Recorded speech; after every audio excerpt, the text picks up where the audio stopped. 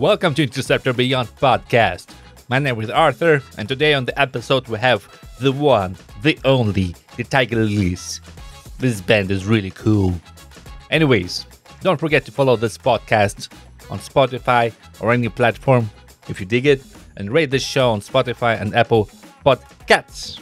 Last time I said Podcasts, so I'm sticking with it. Podcasts.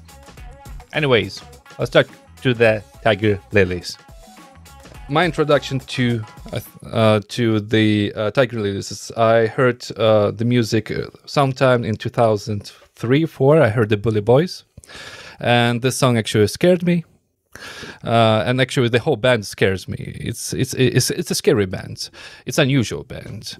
It's you you don't uh, it's completely unique band. The music is completely unique. I would think so.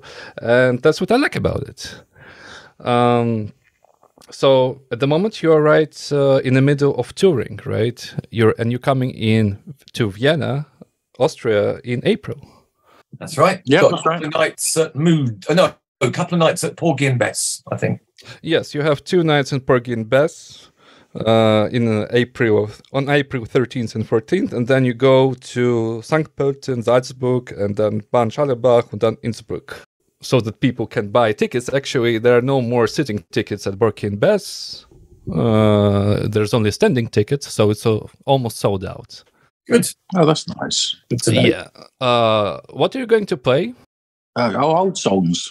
Old songs. Old songs, right? Old the songs, yeah. The Oh. hits. Yeah, Right. well, yeah, It's yeah. Some of, some of the hits. Yeah, yeah. All the the misses. I heard that you never rehearse uh, for the show. Oh, well, no, we do a bit these days. A little bit. We we do not not very much, but we do rehearse more. But we we, we do, don't we? I mean, I think Yeah. when, when we used to do like a couple of hundred gigs a year, rehearsing was a bit kind of a impossible to even fit in, and b we were just kind of continuously playing. Whereas now, you know, things are not we're not quite as relentless in our touring schedule. I think you know when we're doing different shows, we try and at least kind of you know put in a bit of rehearsal time so that we're you know that so we we feel more relaxed when we're on stage. I mean, Yeah. I think just we, we, we used to be really crazily busy and it just was pointless rehearsing because we were just always on the road. So Yeah. now that we're not quite so, uh, you know, so active, you know, we, we, we do need to kind of put in a bit of time to try and, and also, you know, you want to, you want to, you know, you want to play the songs as well. Yeah. So yes, we do play. We do occasionally, we've conceded rehearsal might be necessary occasionally. Yeah, I've I've I've mellowed with age, and there was a time in, when when I was young, when I was I, I used to torture Adrian and um, uh, Adrian and and the, the, the drummers because I used to I just started playing a new song on on stage, but of course Budi is is that still happens because Budi um, hasn't been playing with us for very long, so we play songs which he's never heard on a almost nightly basis.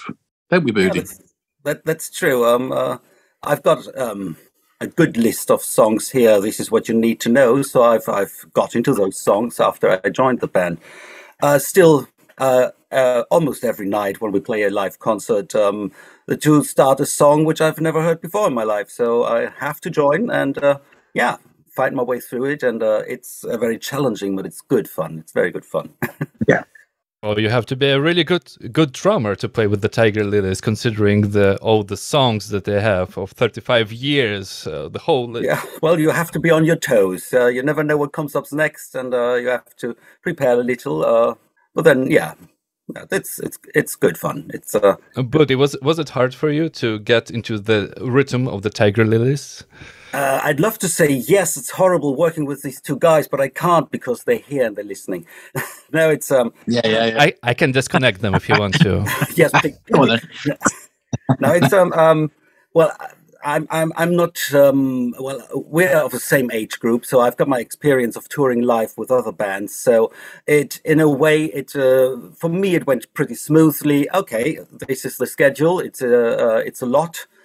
Uh, uh, but it's uh, it's um, not unusual. No, um, it's it's uh, it's good. Working. What was what, what was your experience with them? Uh, did it ever happen to you that when you're playing uh, drums and then all of a sudden, like, what the hell is going on, guys? I mean, uh, what? You, is this normal for you? I'm, I'm. What? Well, I've played in bands where every note, every beginning, every ending, every speed of every song was um, detailed, uh, scheduled, and it's all never played differently. Um, no, pl- no uh, place for uh, improvisation.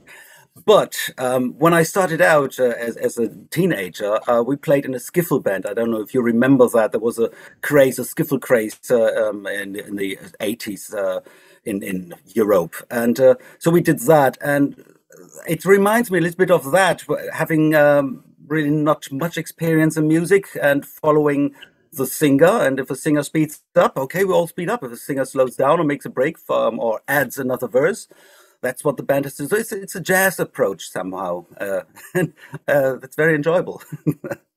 and yeah, I mean, the whole band is based, uh, not based, but has a lot of influences from, from jazz from uh, I mean a lot of improvisation is involved in in a band.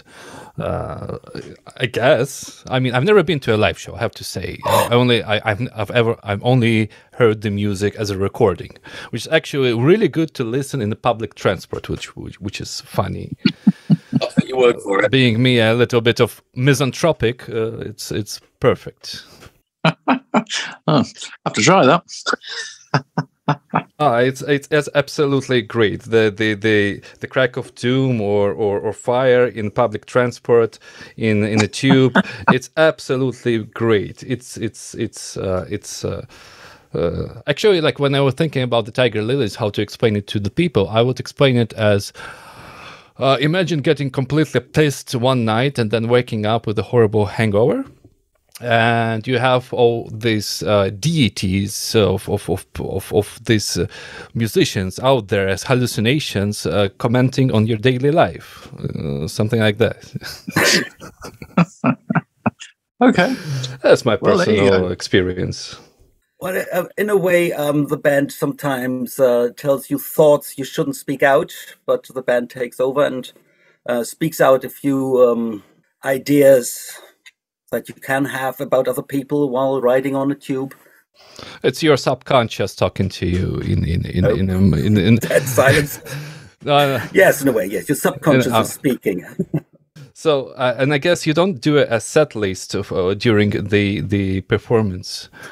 Uh, well, we are kind of running a set list. I mean, it, it's funny. We've kind of gone in reverse. I mean, you know, we've gone from kind of never using set lists to actually using set lists because we we never really did in the beginning and now we kind of almost have kind of gone back to like you know that. I think just because i think structure and also when you're dealing with so many songs you know once once you get past about 30 albums i think you know if you're going to do a set it's you probably need to work out what songs you're going to have to brush up on. Though we still do get called out songs um, that we haven't played for 20 years and and sometimes we can pull them off.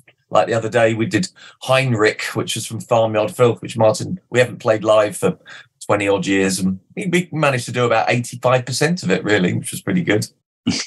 Well maybe not 85 80, okay 75 there was a verse missing but you know still yeah. So i think we so we are using set lists now a bit more but there's always the potential to throw in a few random songs and we still ask people for for you know for for um, encore suggestions and we will we will try virtually anything even if it's only like kind of like you know, a verse or a chorus or something like that, just to try.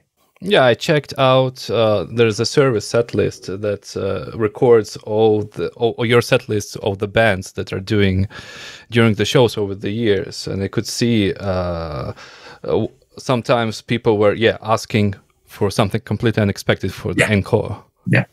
I think we did even did we even managed to do a little bit of thousand violins, didn't we? All did, we did a bit, yeah. I kind of sort of did. We got through the sort of first verse and chorus. First, first verse, yeah, yeah. How do, how does it feel after the COVID? Because it's it was a long time when nobody were playing live. Uh, I mentioned I I read an interview that Martyn had to remember some tricks uh, how to perform live how to deal with the audience that's what i mean what kind of tricks do you usually have what do you mean tricks I guess something like to warm up the audience or how to deal with the Oh. audience during the live we performance. don't. Uh, I don't. Uh, we just start playing. Really, uh, there's no real kind of tricks in that sense. Maybe it was just a bit weird being in front of an audience again after so long away. It just kind of took Yeah. you time to get used to the It kind of the sensation. And you know, Martyn's trick used to be just shutting his eyes. That was always his trick, kind of back in the early days. Is like you know, rather than look at the audience, he'd shut his eyes and just kind of go off somewhere. So we'd be playing in all these pubs, and people would be like hurling their fists and throwing things, or girls would be, you know, exposing themselves at some points, and he'd be completely oblivious. Oh, I wouldn't have minded keeping my eyes open for those bits. Actually, in fact, in fact, I remember we, we did a gig in um, in the Torture Garden in um, in uh, in London. It was a you know, and it's like a fetish um, fetish club, and uh, there was about uh, there were all these girls, and apparently that was it, wasn't it? They were apparently they were all flashing us, and uh, I never saw I never saw a thing. But I guess it was not the weirdest experience. I mean, it's a pleasant experience, but I, I guess you went to, you were invited to many private shows or like birthday parties or shows. I mean, what was the weirdest experience? Some quite weird ones. I remember being invited by the Rothschilds to play in the in on the on on the river, and they all arrived in their helicopters, and then and then we we performed to the we performed to the Rothschilds. And you performed the crack of doom for them. No, I, I, I performed. Remember I performed a especially obscene set. I went through all the. Uh, I went through all the, um, the you know, like the the songs and found all the all the filthiest, most obscene songs, and I and I sang them to the Rothschilds, and they were all they were all standing like uh, several, just a few feet away from from me, and um, and uh, and and they were all drinking their cocktails. We had a really expensive PA system and everything, and which was turned down to zero. And uh, so, and then we sat, and so I was singing these obscene lyrics at these these these bankers' heads, and uh, and they all they all just carried on drinking their cocktails like I wasn't there, apart from one old lady, who I think must have been the one that was got us got us the gig, and she actually uh, cheered loudly at the end of the first song, but then shut up because because nobody else did. That was a strange one. yeah, it's pretty strange on all kinds of levels. Probably, I mean, uh, I can't imagine. I mean, there's so many questions regarding that, but uh, I mean, I hope they paid well. Oh, they certainly did. It would be it would be funny if they pay, paid not really well or the Arch. But we weren't allowed. We weren't allowed to. Uh, we weren't allowed to mix. We weren't allowed to. Uh, we had to. We had to stay in the kitchen. Actually, this was one of the questions I had. Is uh, like uh, you mentioned some time ago that in the beginning you were treated um, as a musicians as beggars because you're basking. And uh, at what point did it change? But when you mentioned that, sometimes it doesn't. It it comes back.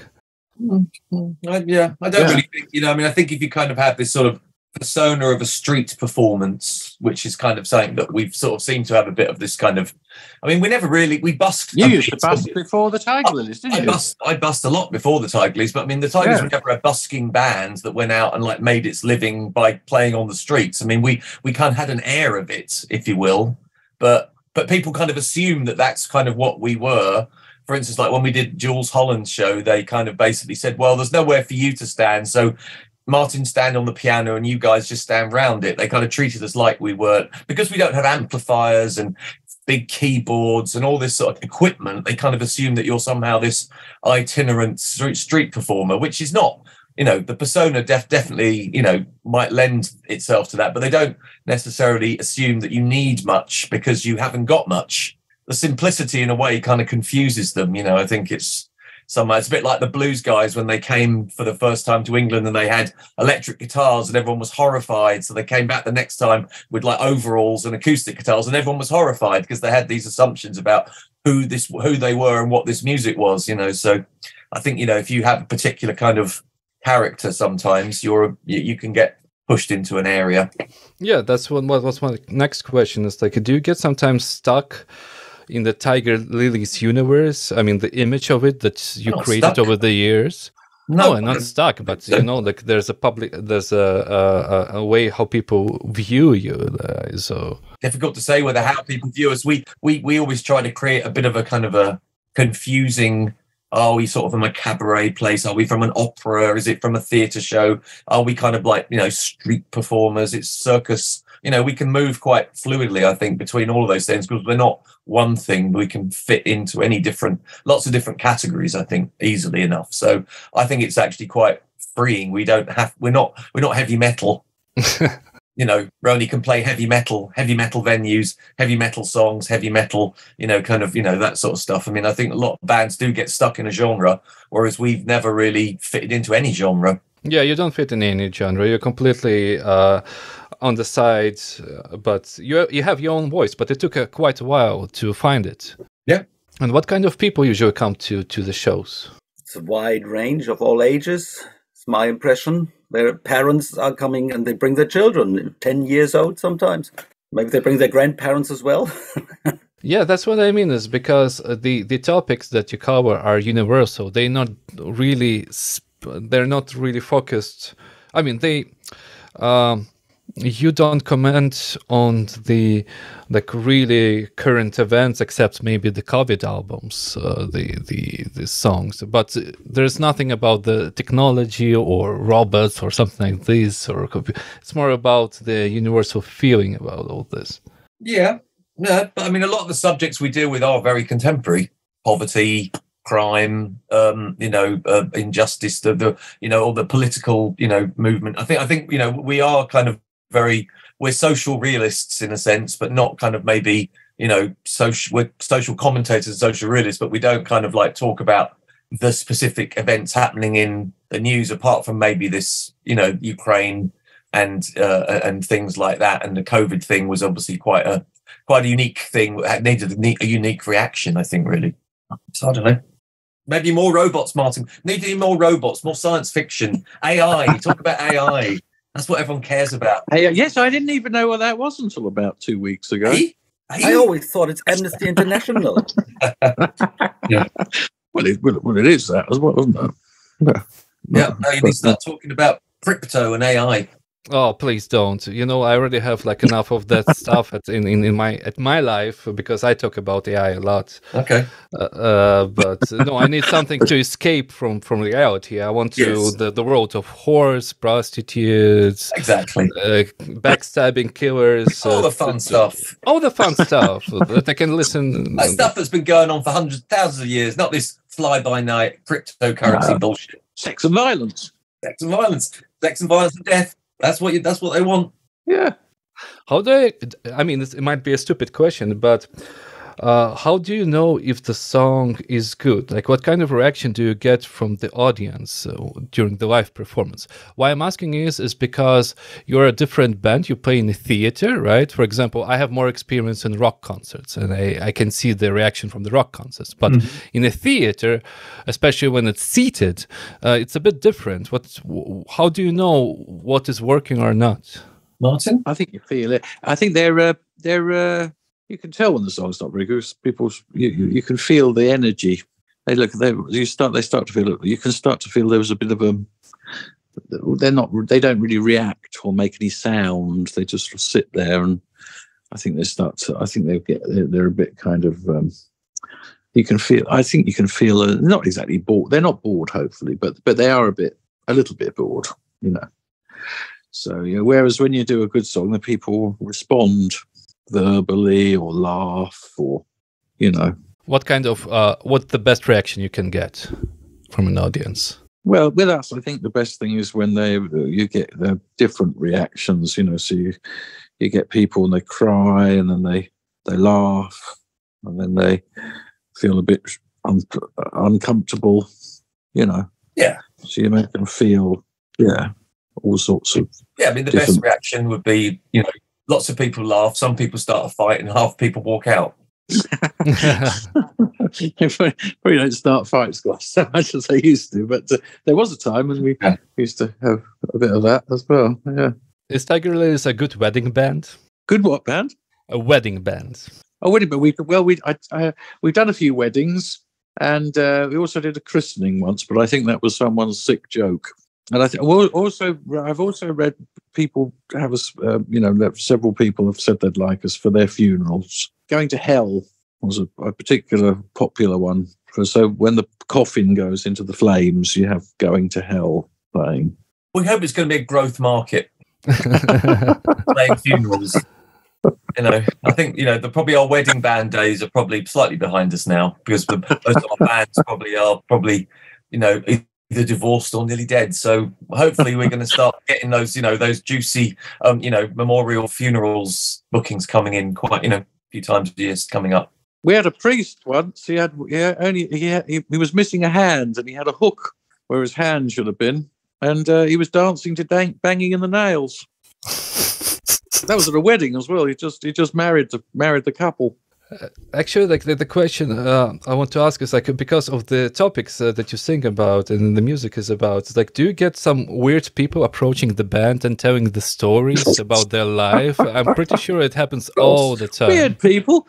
That we had uh, we, we had Adrian, the uh, Adrian Huge, the, uh, the the original drummer. He used to he we, he used to have this noise. He made this noise every time uh, a strange a strange person was there, and he'd say, "It rhymes with butter." he'd always say that.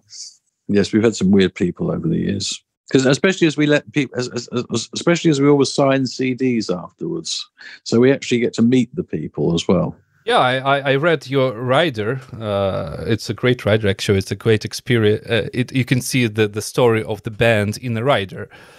And yeah, you, you uh, sell merch and you sign CDs after the show. You're always there. That's right.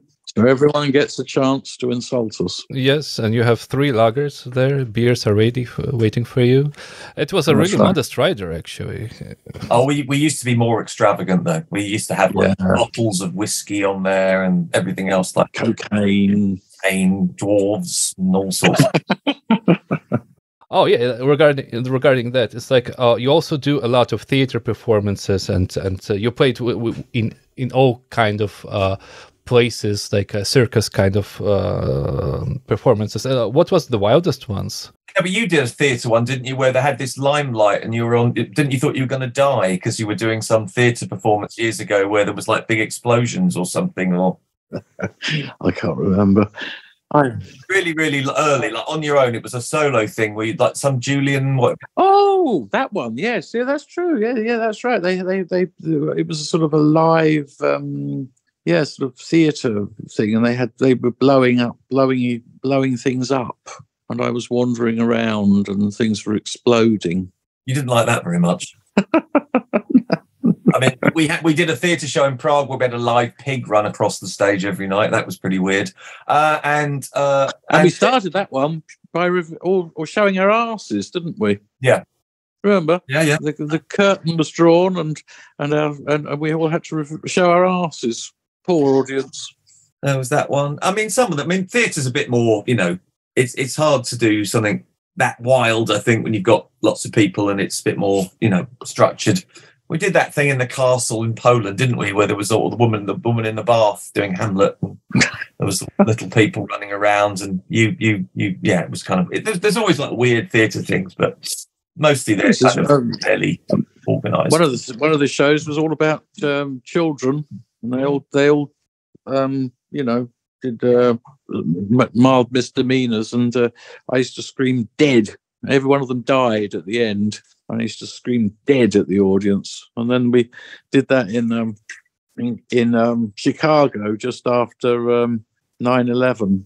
and I started screaming "dead" at the audience every night, and uh, they didn't like it much because they're all, you know, they're all in shock from the uh, from 9/11, and uh, that was one of our greatest um, theatre triumphs, was it? Uh, when you t- tell me about your experiences, it's, it's you don't know if it's part of the song or it's your life. It's like it's so mixed together, I guess. Yeah, I, I, I, I agree with that. I mean, you've been in the show business for a long time, and you've seen a lot, and you've learned a lot. What what you wish you could could have known when you started? Oh God, that's a go on, Adrian. You got any ideas? I could I could say um, to start it off maybe uh, I could say I wish I had known how much a show can. You're on stage, you're doing your show, and then you're done, and you you smile a little and sell a CD. But they've just experienced so much, and they want to tell you immediately, and they open up their heart, and you get the full life story in one minute, and then you get. I go home depressed and busy in my head of what I just heard. Uh, nobody, nobody um, um repaired. Anyways, prepared me for that. Uh, so I wish I had known or learned somewhere to deal to handle those moments where people um, yeah, open up to you, and you don't. In a way, that's not what I came for, but that's life. Um, you move them, and they want to give you something back. And here's my life. It's all spoiled. Do something with it. Adrian, did you learn anything? No. no, I haven't learned anything in my in my in, in my long musical career. I've learned nothing. I think I know, I know, I know less now than I did before, and yeah. uh, I think I'm kind of okay with that. I think there's, uh, yeah. I think you know, see, when you're young, you kind of have preconceptions. I think the only thing uh, I think the only thing you can learn after a while is don't bother having any. And the one thing I did learn, I think I have learned, is like some things, not most things are not forever. You know, you're not going to keep. You know, you should be grateful when you are doing something because you might not do it ever again. You know, we used to go like we used to go places and we never go to them again, or we did shows and then we never do them again. There's a sort of sense of that kind of awareness that you know that things are quite fleeting sometimes is something you kind of assume that you're going to keep doing go you like you go somewhere you like you know oh i'm going to go back there again and again and again and then you then you never do or you see some people and you never see them again and stuff. So i think there's a certain it's not fatalism but i think there's just awareness that when you are doing something good it is good and you should be aware that it's it's good and accept that it won't necessarily be going to happen again in some sort of way or another. And maybe something to watch out for for like because i'm i'm trying to ask questions like i want i want experienced musicians to share a little bit of their knowledge if they could uh, for the for the starting musicians. Maybe something to watch out for in the show business? When when you start out it's also very special and you you know you, you don't realize because it's probably quite hard but it is very special when you especially when you're starting out because it is kind of most exciting time. You are going to be kind of more have more fun you know in the initial stages than you are probably going to do once you actually if you carry on past a certain point you know it is going to be probably more of a laugh you know we used to have a great laugh driving around germany with you know in, a, in an old ambulance freezing to death you know in the 90s and then going to the czech republic and you know all these sorts of things and you know sleeping on floors it's all great it's a laugh it really is good and very special and also the special it's also the time you do it is usually quite special. You don't realize that, you know, 20 years later, that time is going to seem like something kind of very exotic to people. You know, they think about the 90s now and 2000s as some, some exotic period where, you know, things weren't as, you know, didn't have mobile phones and you didn't have, you know, all this kind of technology. And it was kind of, you were free to kind of, you know, be, a, live a different way. Who knows what it's going to be like in 20 more years time when people are musicians are kind of going around they might look at this as some sort of golden era where you know the internet was free and you know you didn't have to have a chip put in your head. I don't know who the fuck knows? I don't know. I mean i just think it's yeah it's just you know young i mean it's it's hard when you're young you always think that everything's like you know it's kind of annoying and or it's you know it's going to stay the same and it doesn't. I think it's important to know if you're if you're starting out as a musician. Um, that's that's what I've learned. Every night is is uh, this one night only. And once you if if you play um, only 50% or you feel bored while you're doing the gig that's not for you then. It's the wrong band or you shouldn't become a musician. Um, you need to play 100% or even more every night. Um, otherwise the audience feels it immediately. If you're just playing half-heartedly they they realize and that you don't get the response and that's then it's not worth it. They might have paid money for it as a young musician that maybe they haven't but they're still there to be enthused to to to have something to experience something. And if, if you don't give them something to experience you shouldn't be on stage maybe. How to give it have to give it all every night Great advice. Uh, all right, guys. I don't want to bother you too much. Uh, the shows in April, uh, in Vienna are happening in April 13th and 14th. Yeah. Uh, everybody should buy tickets. And in the end, I always ask if you could give me a song, in your case, the Tiger Lily song that should play at the end of the episode. Which song is a good introduction to the band? This is Banging in the Nails by the Tiger Lillies.